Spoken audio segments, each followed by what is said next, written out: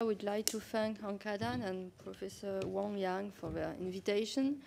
And I'm very pleased to be here. Um, I have listened to very interesting things till, till now. So I hope um, my paper will, be, will have some interest for you too.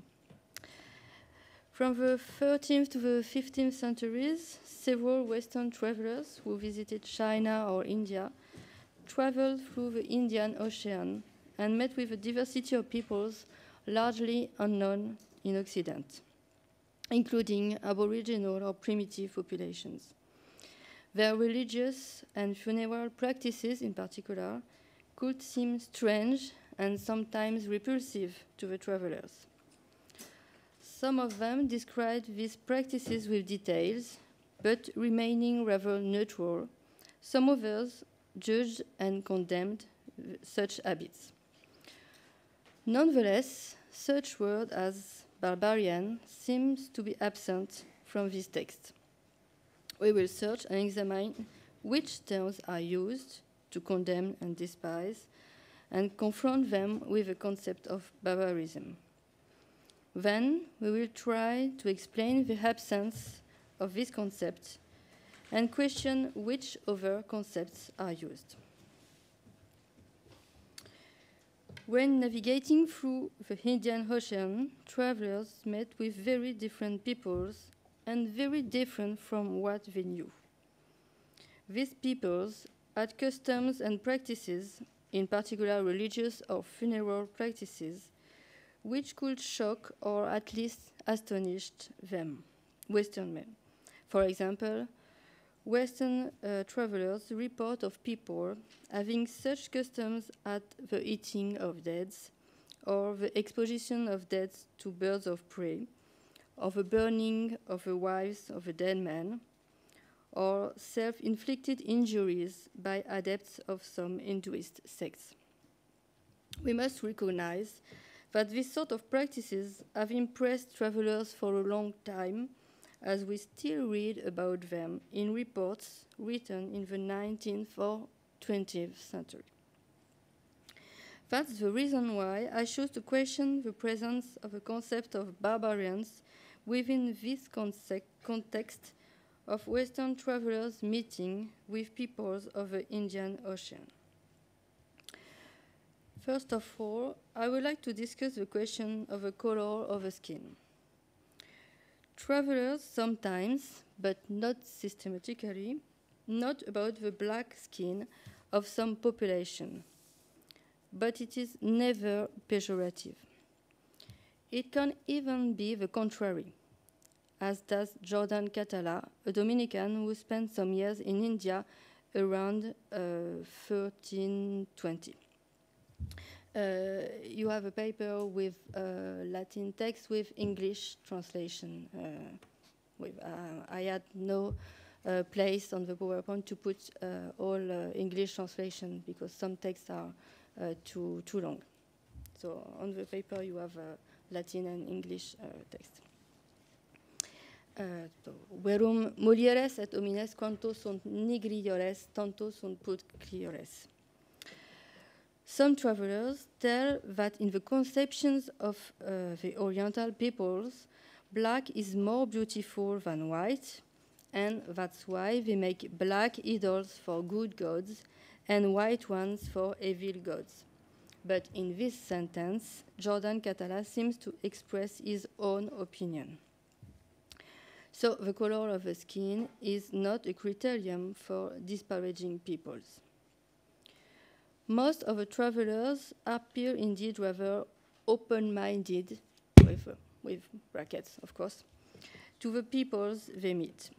They describe their customs and practices, as strange they may be, without commenting them. They even sometimes provide some rational explanations for the strangest practices they tell us about. For example, when uh, discussing the worshipping of cows in India, Jordan Catala explains that cows are so useful to men there that they venerate them and never kill them. So uh, he explains that um, cows, uh, cows are uh, honored in India, and uh, it is completely forbidden to kill them. And um, a man who would kill another uh, another man uh, will be less punished than a man who would kill uh, a cow. Uh, because cows are very useful, they provide milk, butter, and so on. So Indians do not kill cows. Veneration of cows certainly astonished him, shocked him, as other travelers. We may, we may think that even if he does not tell explicitly, these practices let him think to the biblical anecdote of the worshipping of a golden calf. Some illustrators of medieval travel accounts did think of it, as shows this uh, illustration in the manuscript of a Livre des Merveilles at the Bibliothèque Nationale in Paris, where we can see Indians having statues of cows or calves on their head, golden ones for the powerful people, and simple ones for others. Uh, in this image, they also have dog heads, but it's because the illustrator uh, mixed together two uh, different uh, um, parts of, uh, of the text. But uh, Jordan Catala doesn't have a word for criticism or reject. On the contrary, he tries to explain rationally, with convincing arguments, this strange practice. Another missionary is more critical about what he saw in the Indian Ocean. I do not want to tell that some missionaries are better or more open minded than others, that, that's not the point. Each of them had their own nature and reacted according to their own mind. The name of this uh, second missionary is Odorico de Pordenone. This Franciscan traveled in the Indian Ocean and in China during the 20s of the 14th century and dictated his account in uh, 1330, a few days before his death.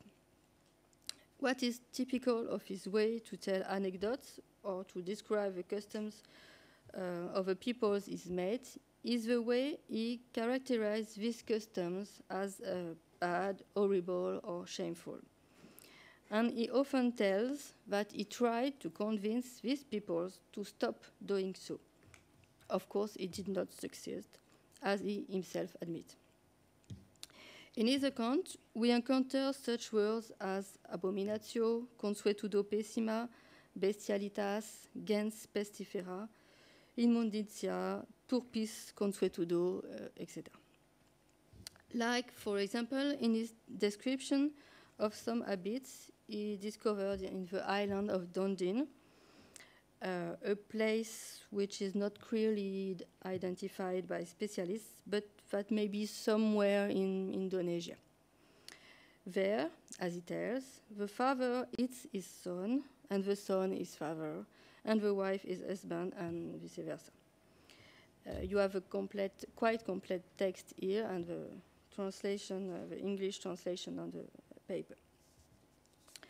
Um, in this uh, passage, Odorico tells that on this island, when someone is ill, his parents go to a needle to ask if this person will die or will recover. If the death is announced, a priest, sacerdos, comes and suffocates the ill man and then cut him in pieces. Parents, friends, and minstrels are invited to eat the dead and have a party with joy and songs. The bones of the dead are then buried with solemnity. Odorico reports then that he told them that they were making something contrary to reason, although they seemed to be rational men.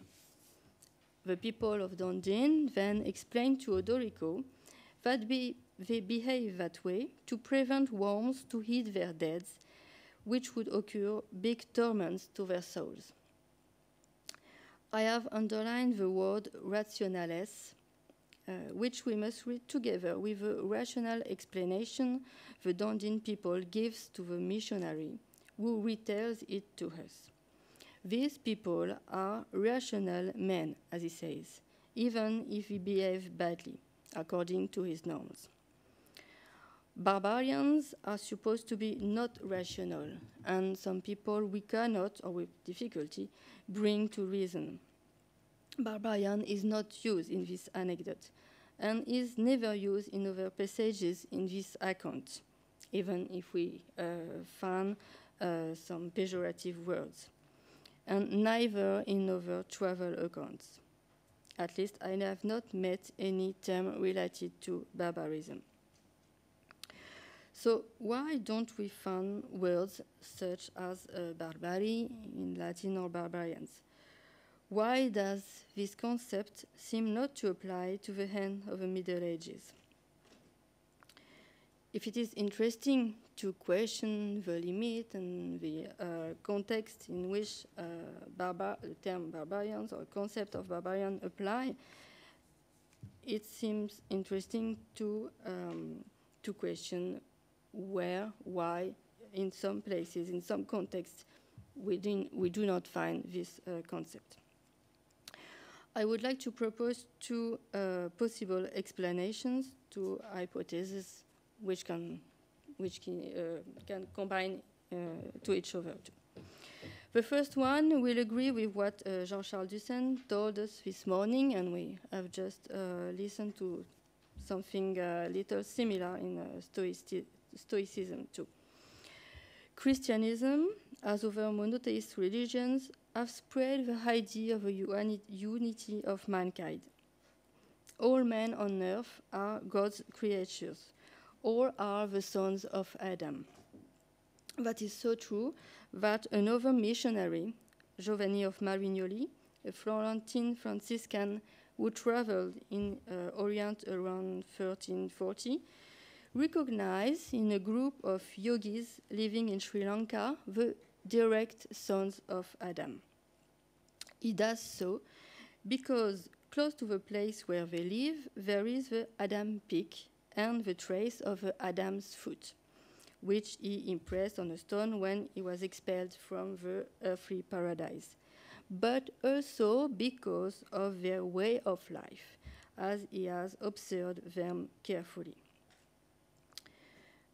In addition, these disciples of Jesus are supposed to have preached to all parts of the world. That doesn't mean that all men are perfect Christians. Many, according to our missionaries, are erring, and this can be caused by multiple reasons, including the lack, the lack of uh, preachers or the lack of um, or, uh, priests, priests and uh, bishops, uh, etc. The job of the missionaries is therefore to bring them back to the right faith. But when encountering peoples with practices which they find strange or even repulsive, they do not reject them as barbarian.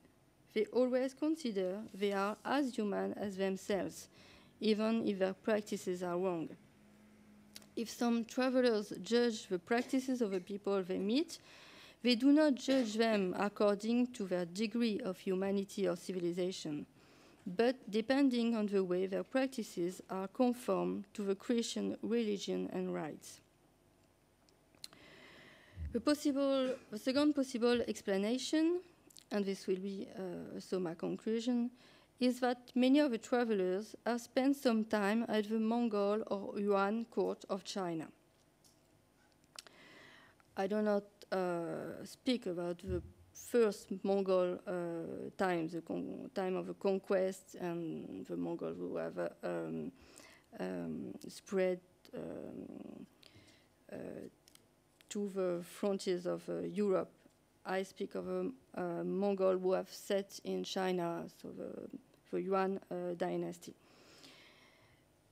There, uh, the travelers have met with a very powerful emperor and a highly developed civilization. If you read, for example, the portrait of a great Khan made by Marco Polo, we have some kind of mirror of princes.